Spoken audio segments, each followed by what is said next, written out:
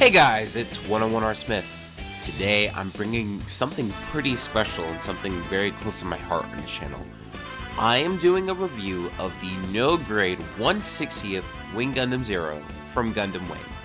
Now why is this special? For a couple of reasons. First off, it's the old no grade 160th scale Wing Gundam Zero. It is one of the hardest kits to find in its age because it's 25 years old and Bandai doesn't do a lot of reprints of this. You're lucky to catch them once every couple of years.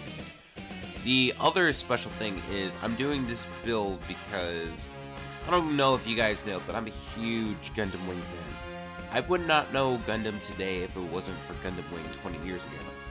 And speaking with that, this year is two special anniversaries for the anime. April 7 will be the 25th anniversary of Gundam Wing itself. This past March 6 was the 20th anniversary of Gundam Wing's English dub premiering on Toonami, and that's how I got into Gundam 20 years ago. So this is definitely going to be my passion project. Now, what I mean by that, if you haven't seen the work in progress video, is I painted the whole thing top to bottom and added a couple cool new tricks that weren't there in the original build. And it might not be perfect, but I'm pretty proud of what I was able to accomplish. Speaking of the work in progress video, if you guys were a fan of that, tell me. Let me know if you want to see more of that whenever I do a painted build. I don't know if you want to see parts or you want to see long, long video. I'm sorry, I'm not Strider Prime, but I can try my best to do it my way. Now, the other thing about this is, this is a no grade from 1995. This takes a lot of work. Remember those old Gundam Wing kits we all grew up with? Those old 1-100 ones who had the floppy polycaps? This is the same thing scaled up. Admittedly, it does have the best color separation of any of the Gundam Wing kits that came out during its airing, but still, this is a product of its time, so it needs a lot of care and work on, but I'm willing to do it because Wing Gundam Zero, the Okawara version, is my favorite Gundam. Gundam Wing is still, in spite of its flaws, because it's not perfect, it's still one of my favorite animes, and I just want to show my appreciation to the show that got me into this fandom. So, paint up, build, let's see what we have all painted up and built together, and now we have 160th Wing Gundam Zero. I gotta say, proportions are a little wonky still, but for what it was in 1995, this is a good looking kit. And I'm pretty proud about how the paint came out. I didn't like the red that came out of the box because it looked too toyish, and the white on this kit wasn't a white, it was that weird grayish white. And then the inner frame parts or parts that held the kit together was the weird purplish gray that we all had, and I had to fix that.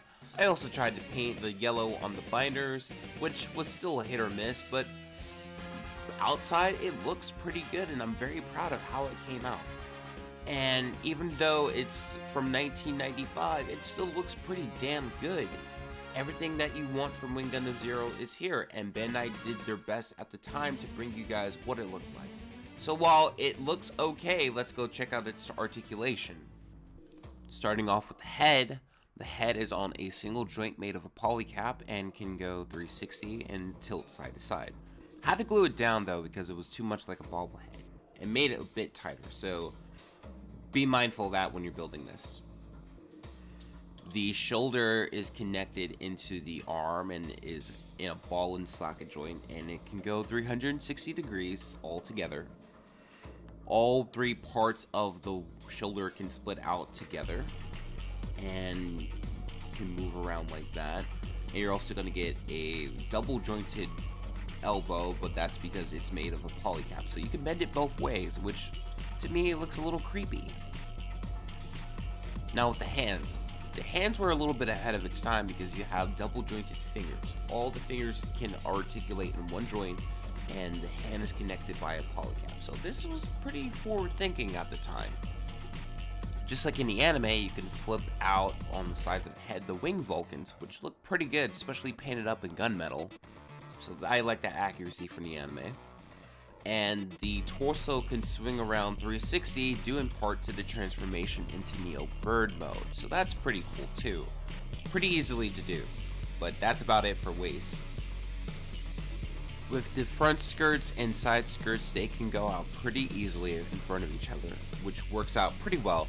However, because of the connection to the leg, it's a polycap on a socket, you're not going to get any outward parallel movement with the legs However, you will get a double jointed knee. This shin armor can move out front and back, and the legs and and the feet can get a little bit of pivot in front, but there's one solid piece. Articulation is still somewhat lacking, but for 1995, they did what they could with the amount of space they had for a 160th scale. Just like with any other model kit, the Wing Gundam Zero comes with a few accessories. It might not be too much, but there is a lot to talk about here, so let's go review the loadout of Wing Zero. First off, we're to get the Wing Buster Shield, and it's pretty accurate to what it was in the anime with the color scheme and the yellow and what it can do. It connects with a polycap on the forearm of the arm, and it holds up pretty well because of that connection to the polycap you are going to get a little bit of articulation to where you don't need to move the arm in order to get the at the position that you want it to be. The other cool function about the Buster Shield is you're going to be able to keep the pile driver function of it. It works pretty well, but I might have forgotten to paint it gunmetal. And of course, Gundam Wing Zero would not be the same without a pair of beam sabers which you can pull out from the shoulder from the part of articulation that we had reviewed earlier on during the review. Not as big as the Perfect Grade ones, but still works. Finally, we have its most iconic weapon, the Twin Buster Rifle. I think I did a pretty good job with the paint scheme. It was the weird purplish gray. I use a gunship gray, and I masked it off so I could paint it yellow, because otherwise it would have been stickers. Now, can you hold up the Twin Buster Rifle Yes. But because the elbow joints are made of polycaps, it has a tendency to droop down far easily than any master grade could. It does take a lot of patience and a lot of balancing in order to make it work, but you can. And you can also hold it up one by one, but it is a little tricky in that I accidentally glued the wrong handle, so I'll forever be tarnished to have to struggle to hold them together.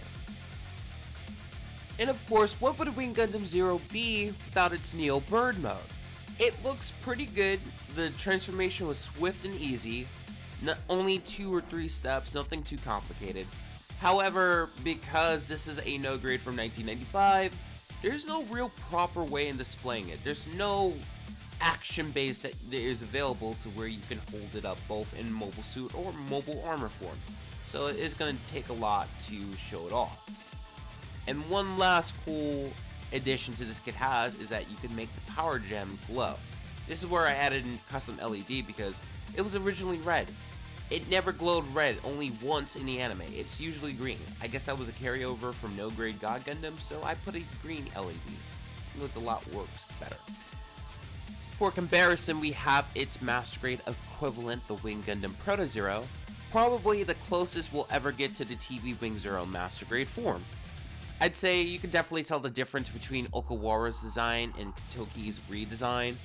Proto Zero is a lot more angular, a lot more dynamic. Okawara is more boxy, but it still has that classic badassness.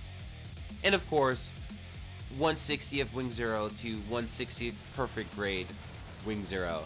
Yes, my Wing Zero custom is beaten down with age. This thing is six years old, but a lot of the proportions still work with each other. Uh, granted, Wing Zero Custom is a lot more pretty, but I don't know. It works pretty well. And Wing Zero, the Okawara version, still looks pretty good. Also, comment if you want me to do a painted bill of Wing Zero Custom this Christmas. Here we are at the end of the review, and I like what I have. Is it limited? Yes. Does there need to be a lot of care and attention put into the make 160th scale Wing Gundam Zero great? Yeah, a little bit. But if you're willing to put the effort and you're willing to put the time to really bring out what Wing Zero could be, this is a great kit to have. Yes, not a lot of articulation. Weapons are inaccurate in color. You got a Neo Bird mode that you really can't pose off the ground, but it's a novelty kit. It's something that you build in order to be proud of your collection. You put it there for shelf presence and you put it there for the nostalgia. I'm very proud to have this kit in my collection. I'm very happy with the work that I was able to put in. Is it perfect? No, I fucked up terribly with some of the seam lines on this kit. The yellow on the wing binders, I really regret sometimes not using the sticker or not using masking properly to where it bled out, but I'm still really proud to have this kit. Now, if you want this in your collection, the price is going to be a little bit steep. It was originally 35,000 yen in 1985 because Bandai doesn't do a lot of reprints of this, you're gonna see it for at least 60 to 70 dollars. I got it for about 75. I felt because of its age and because of the novelty, it was worth it. But I would not recommend you buy this kit for $100. I wouldn't even do it. But if you're a big Gundam Wing fan like me, you're gonna want this in your collection. You're gonna be proud of it. And if you do the painting and the work, you can really bring out the best in this kit. By the way, shout out to Crap Monkey for his build of his Wing Gundam Zero 160 scale. His video really gave me a lot of the ideas to go with this kit. The magnets didn't really work out because they were so strong they couldn't have stayed to the adhesive to glue them down. But he, he came up with the idea for a custom LED and this kit would not be the same without that green LED. So shout out to Crap Monkey. I'm so happy to have this as part of my collection and I'm so happy not only to be a Gundam Wing fan, but a Gundam fan altogether. And I just gotta say, happy anniversary to Gundam Wing. This is 101 R Smith, and I will see you later.